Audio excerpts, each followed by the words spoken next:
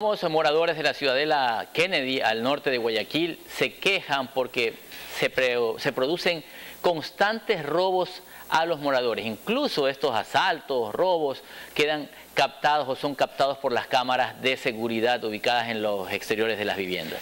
Allí está nuestro compañero Henry Avelino y nos tiene más detalles. Adelante, Henry. Gracias, Steven. Sí, estos asaltos quedan registrados en cámaras de video y lo que se puede observar es que son los motorizados los que ingresan a la ciudadela, un barrio tranquilo, un barrio tradicional de Guayaquil, la Kennedy, en donde la mayoría de sus habitantes eh, son personas, son adultos y adultos mayores, eh, los que se quedaron a vivir en este barrio que aparentemente era tranquilo. Y bueno, pues cuando se escucha una moto, bueno, la gente acá se pone bastante tensa porque piensa inmediatamente que va a ser víctima de la delincuencia. Nosotros tenemos acá un video que queremos compartir eh, con ustedes eh, de uno de los últimos asaltos que ha quedado registrado en este sector de Guayaquil. Una señora, una adulta, estaba llegando a su casa, a su domicilio, cuando es interceptada por un motorizado que se sube incluso hasta la vereda para poder arrancharle sus pertenencias. Y en la cámara se puede escuchar en el sonido, el sonido de desesperación de la señora que grita al verse acorralada por esta persona que viene y le arrebata sus pertenencias para luego huir de forma apresurada. Un asalto que ha durado pocos segundos nada más de estos motorizados que recorren esta ciudadela ustedes lo pueden ver aparentemente muy tranquila, no no pasa nada, ni siquiera hay este del tráfico vehicular eh, al que estamos acostumbrados en Guayaquil y lo que sí podemos observar es que casi todas las casas tienen sus cámaras de seguridad justamente para el resguardo, para las evidencias, para poder eh, de alguna manera o que la policía pueda dar con aquellas personas que delinquen, eh, hacen sus actos delictivos aquí en este sector de la ciudad de Guayaquil. La señora asustada ha quedado y bueno, pues también atemorizada por el temor a las represalias, pero el video está rodando también en redes sociales también se ha hecho público y ahora las investigaciones se dan, pero lamentablemente siempre las investigaciones quedan en eso solamente, en investigaciones. Les decíamos que este es un barrio tradicional de Guayaquil y la mayoría de sus moradores son adultos mayores que se quedaron acá, ya la mayoría de personas ha ido a otros sectores del puerto principal, también de San Borondón, de la vía Adaule, la Aurora, esas ciudadelas que se encuentran por allá y uno puede ver acá la mayoría de los adultos mayores saliendo paseando con sus perritos, ya ni eso podían hacer. Antes lo podían hacer, ya ni eso por el temor a la delincuencia. En varias calles de estas transversales de la ciudad de la Kennedy, en el norte de Guayaquil, también se pueden encontrar a varios eh, guardias de seguridad que de alguna forma tratan también de poner en alerta o crear algo de temor o pánico en los delincuentes, pero no, no se consigue el resultado deseado. Vean, algunas de las casas acá, la mayoría también cuentan con el alambrado eléctrico, eso también se ha podido notar, para poder eh, evitar el tema delincuencial, un tema que preocupa aquí en el puerto principal bastante, mucho, porque la, situación se pone bastante difícil en la mayoría de sectores, no solo en este, sino en otros sectores de Guayaquil. Miren ustedes que en lo que va del 2023, en lo que va del 2023, Steven, eh, durante los seis primeros meses del año se han registrado más asaltos de todo lo que hubo en el 2020 acá en la zona 8 que corresponde a Guayaquil, Durán y San Borondón. Steven, te escucho. Oiga, esa cifra que usted está dando es de terror. Imagínense, solo en los primeros seis meses se, cubrió todo lo del, lo del año anterior. Es, eh, es terrible de cómo están alborotados los delincuentes.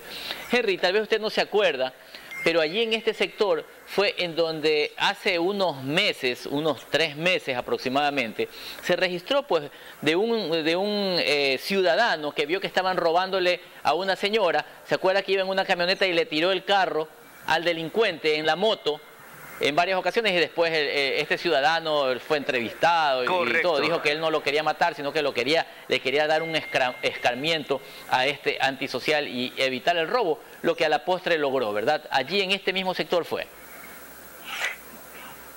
En este mismo sector, justito en este mismo sector, y ese video nosotros lo tenemos en Telegrama Digital, en nuestras redes sociales. Incluso tenemos una entrevista con el ciudadano héroe que logró salvar a esta persona. Lo recordamos claramente, la señora es interceptada, el ciudadano se da cuenta de eso y eh, procede a impactar la motocicleta, no con el ánimo de matar a nadie, sino de darle un escarmiento, de, de alguna forma de neutralizarlo también, y luego la señora se puso a buen recaudo. Entonces es justo esta ciudadela que les decíamos es bastante tranquila, la gente cuenta acá, obviamente ha puesto todo, miren ustedes este domicilio, hasta alambres de púas tienes este domicilio acá. Entonces lo que se pide es eh, mayor resguardo policial, por lo menos que los patrulleros circulen.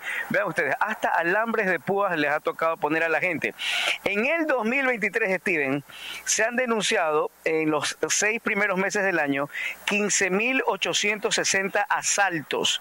Eso deja como, en la zona 8, eso deja como promedio 75 robos diarios. Pero Steven, esto es solo la gente que denuncia, porque tú sabes que cuando te roban, tienes temor también a denunciar por el temor a las represalias. Y esta cifra entre Guayaquil, San Borondón y Durán es bastante alta, es uno de los asaltos, una de las cifras más grandes. De todos estos meses de lo que va del año, julio es el índice, es, julio es el mes en el que hay mayor índice de delincuencia en lo que va en el 2023. Según los datos de la Fiscalía, desde el 1 hasta el 31 de julio se registraron aquí 2.000 1.551 asaltos, dejando un promedio de 82 asaltos diarios. En realidad es bastante alta la zona 8, pero Guayaquil también sigue siendo la ciudad que más denuncias en asaltos presenta. En total lo que va del año son 743 en Guayaquil, 58 en Durán y 7 en San Brodón. Ojo, ojo, y Steven, esto es solo lo que se denuncia porque hay mucha gente que cuando es víctima de la delincuencia no lo hace por miedo, no lo denuncian por temor a las represalias. Esa es la información que tenemos desde la ciudad de la Kennedy. Son las 8 horas con 33 minutos, Cintia. Oiga, eh, mi querido Henry, la verdad es que es lamentable. Tú mencionabas al inicio de este enlace y decías personas que se han quedado aquí, que la mayoría son adultos mayores, porque el otro, el, otro porcentaje de personas han decidido precisamente migrar o, salir a estas urbanizaciones cerradas que comentábamos también anteriormente con Steven, hasta cierto punto brinda un poco más de seguridad. Pero las personas que quedan aquí en esta, que era una ciudadela conocida por muchos años, que se destacaba porque había parques, espacios recreativos también, un sector bonito, que entre comillas era seguro, residencial, que también eh, había espacios para tener ciertos locales comerciales, panaderías, farmacias. En Kennedy también eh, funcionan muchos eh, lugares como para los médicos, estos edificios y, clínicas conocidas para, para doctores, para médicos. Y, y es terrible tener que ver cómo poco a poco se van perdiendo los espacios de nuestra ciudad, donde lamentablemente, como siempre lo decimos, no hay un lugar seguro para nadie. Y peor si es una zona habitada por adultos mayores porque los delincuentes se aprovechan de esta situación. La reja, la calle.